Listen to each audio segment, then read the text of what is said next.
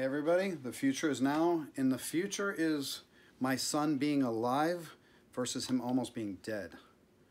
Okay, maybe that's dramatic, but this is the reality of what happened to me. Okay, I wanted to share this story with you. On the 24th of January this year, my son Chase was hit by a car while riding his bike. He was thrown thrown into the windshield, hit his head on, broke the windshield, then rolled off and hit the other side of his head on the concrete. Um, it was basically the worst day of my life, okay? I didn't know if he would survive this, okay? The woman's car that hit him was not a Tesla, okay? And if it was a Tesla, he never would have been hit. The car would have seen him. The car wasn't traveling that fast. It would have stopped in time. Sorry, it's hard to get through this. Anyway, instead, this was the toughest time in his life to recover. He had to recover from his leg contusion. He had to recover from multiple um, concussions. Um, he had been working on a speech for the FBLA, which I don't know if anybody knows is Future Business Leaders of America. He was working on that beforehand, and he knew it inside and out. After the accident, he couldn't remember any of it. And after about a few weeks of practice, he went on to win the Florida State Championship for that speech.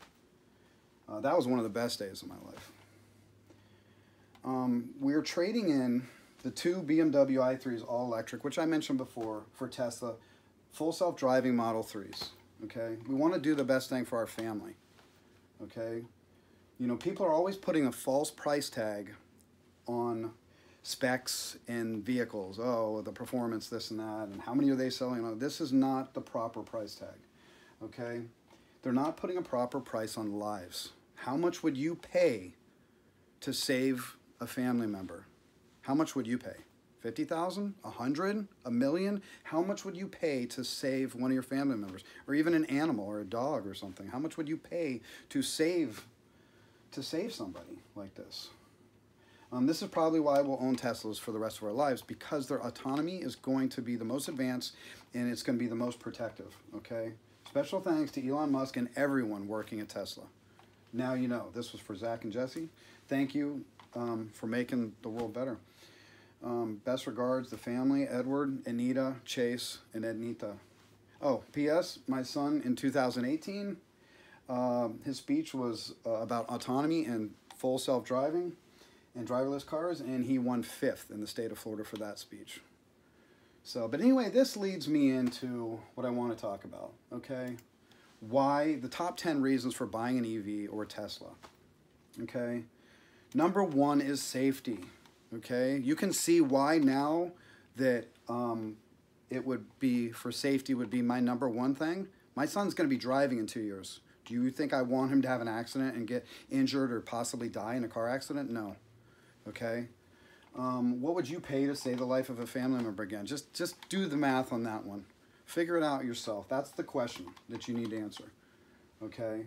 And safety okay, autopilot is 8.5 times safer than a normal human being. So let's break that down. Forget about the numbers in this way. Let's make it simple, okay? So for every accident that I would have in a Tesla, you, if you don't have a Tesla or full autonomy, you're gonna have eight and a half accidents, or you're gonna have nine or eight accidents, okay? That's crazy. That's a crazy difference, okay? Now, okay, the environment. I put it as number two, okay? My wife's it's for number one. That's she wants to save the world that way. Okay, do you even care about the environment? If you don't care about the environment, then move environment wherever you want. But I mean, all EVs share the advantage here. I mean, they're all helping the environment. We're not polluting. We're not breathing in all the all the pollutants. Okay, economics. All EVs again, they're one fifth the cost. Operating costs. Okay, they're one fifth of the operating cost. Ask yourself this: Do you like pumping or paying for gas. I don't, and I don't pump or pay for gas anymore. No, no more, never for the rest of my life. Not gonna happen. I'm not wasting five minutes per, uh, let's say every two weeks, 10 minutes a month times um, 12 months, that'd be 120 minutes. Okay, two hours a year times 10 years would be 20 hours. Wasting 20 hours of my life pumping gas, no thanks. All right, that's out okay? Time. Well, how do you get more time in a Tesla? Well, I mean, if, if the car's driving itself, you have more time to do anything else you want to do. If you want to work, it's basically a mobile office. Uh, it's mo mobile entertainment center. You know, you can watch movies, you can work, you can do whatever you want to do. You have more time, which really is more freedom.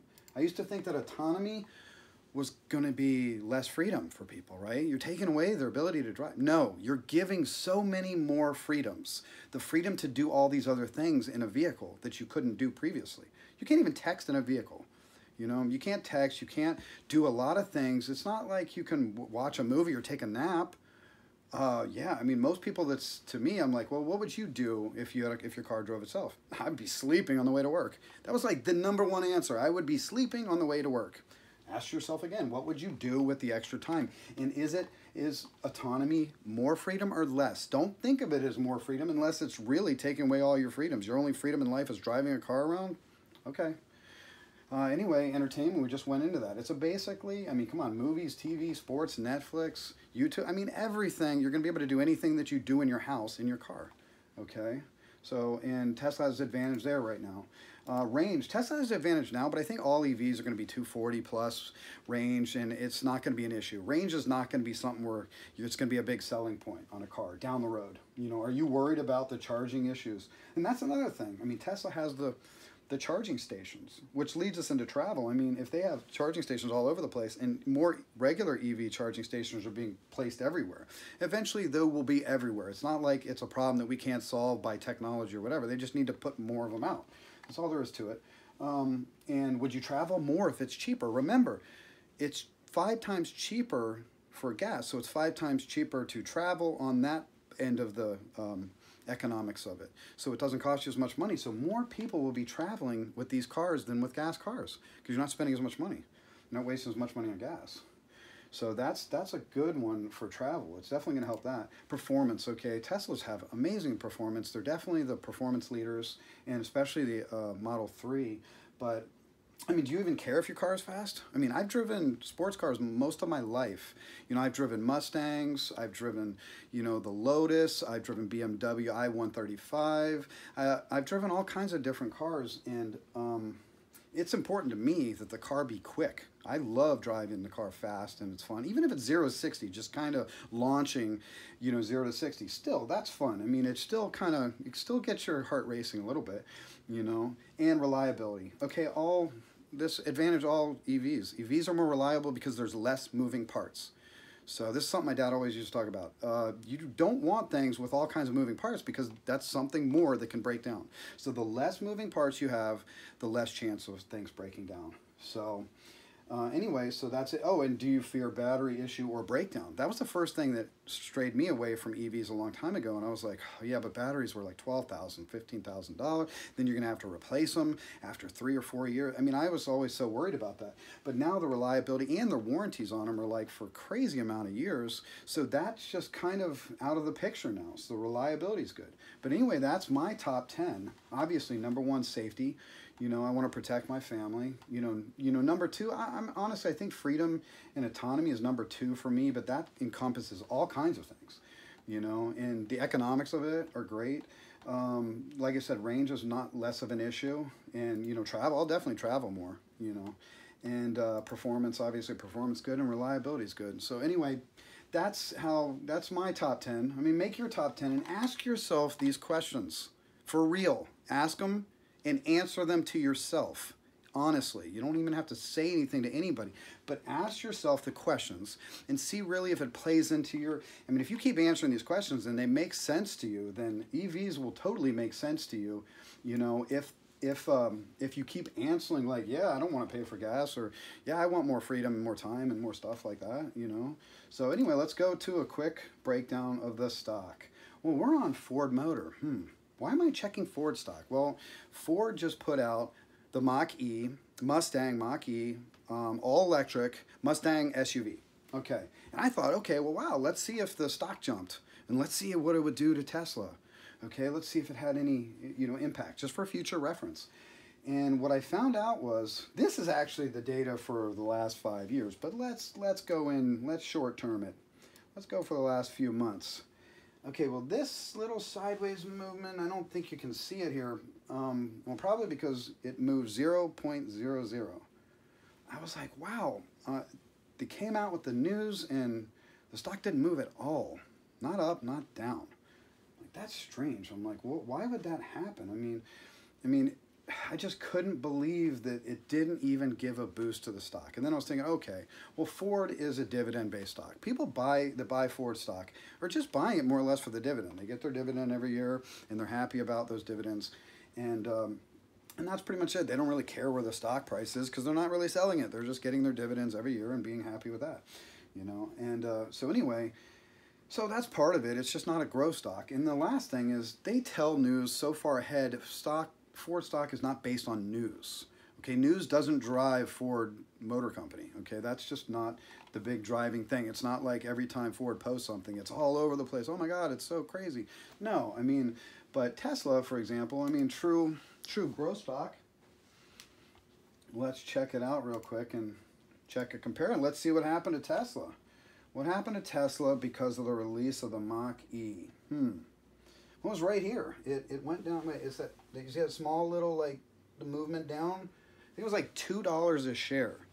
So, and honestly, I think that was more of a trade. I think traders were like, "Oh man, they just released that. Let's let's trade against uh, trade against Tesla." Uh, you know, so I think it was more of a trade of, and two dollars wasn't much of a gain on a trade. I mean, but and then today it shot back up another.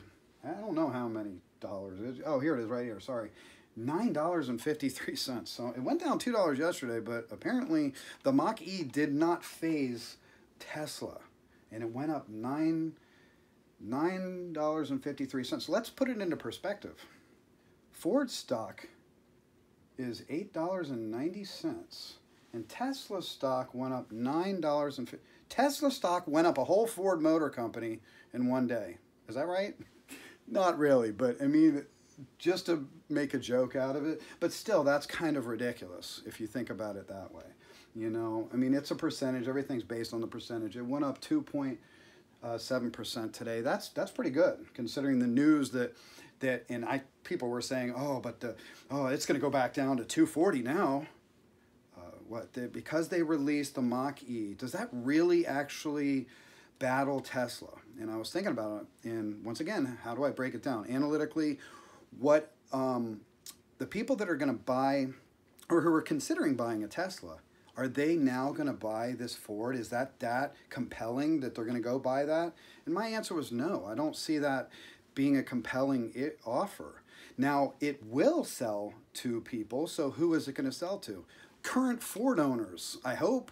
I mean, it's going to sell to people who are already driving Fords. Now they're just going to be like, okay, cool, now I can drive an electric Ford. So it doesn't, it's not like it's pulling away from Tesla's market share to sell that vehicle in a stock-based way to look at it. You know, is it pulling market share? And I don't believe so. So in that, you know, I wouldn't say this proves it, but I mean, to me, that's like, I mean, this is still pickup truck. This whole section here is pickup truck um, push. So everybody's like, well, should you sell or buy through the pickup truck and everything? And I don't give advice on buying or selling anything. I just tell you what I do. I'm giving you my opinion on what I do and I show you why I do it in a, in a mathematical, analytical way, not in a, well, I just love Tesla. They're like the best company ever. Okay, that's not a reason to buy or sell something. I would have been shorting Tesla up here. Okay, I probably would have been. And, and, but once again, I wasn't I wasn't in the market at that point, you know. But anyways, so now, so this was all earnings boost. This section here, all earnings boost. This section here is pretty much all pickup truck unveil potential news. So this, whether the stock goes up or down after the pickup truck, is not really relevant because it basically already did. People aren't really considering that. Okay, this is what means by baked into the pie. Now, people say that all the time in the market, oh, but that's already cooked in there, that's already baked into it. And what they mean by that is this is this is all the seasonings and all the spices baked into that pickup truck. Those are all the things. So it going up or down from here, it's already went up because of the pickup truck. You know, that's the main driving force right there. I mean, why were people buying during this point? You know, because they're about to unrelease uh, release it, and they want to be in on that moment. So to me, that's a positive thing. You know, that shows that it's probably going to have a positive effect on the stock. But I don't care either way if it goes up or down at that point of the release or not release. You know, I care more whether I'm going to like the truck or not myself, but than the actual stock because that's not the whole thing. I mean, if they don't produce a pickup truck, then I guess that they're going to go bankrupt, right? No, it, it, doesn't matter. I mean, that's one vehicle. That's like saying nine Disney films are awesome and then they produce something that's like kind of average and oh my God, I guess Disney stock's going to crash and nobody's ever going to watch a Disney movie again. That's just not how it works. So you can't base things on one thing or just on news. Everybody does everything on news, and this is a big misconception. Okay, one indicator in the market is news. Okay, and some news doesn't even move a stock up or down. I mean, look at what happened with Ford. That's that news of the release didn't do anything for the stock. You know, that news if it was on Tesla side would have done a lot. So news it depends on the company you're dealing with whether news is even an indicator at all. You know, it is more so with Tesla, but it's not the end all be all indicator of news. Trend is is the biggest thing.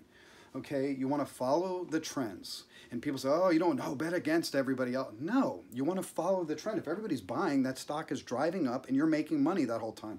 Don't be buying, um, in general, I wouldn't be buying going downward trend and keep buying down, down while you keep losing more and more money. Why not wait till the trend goes up and you start making money? I don't understand. Everybody gets so greedy trying to find a bottom that they keep buying going down. That's a mistake.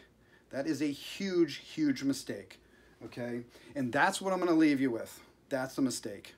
Subscribe, like, and I will post stuff all the time and keep you apprised of everything that Tesla's doing or any other company. If you have a company that you want me to um, to track and show you a basic layout of what I think, my opinion on what I would do with this curtain thing, I, I will definitely explain it and go into detail on it. But I just wanted to give you an example of Tesla versus Ford. So, and, and you have it on a, on a stock-based analytical fashion. Anyway, thanks a lot. Take care.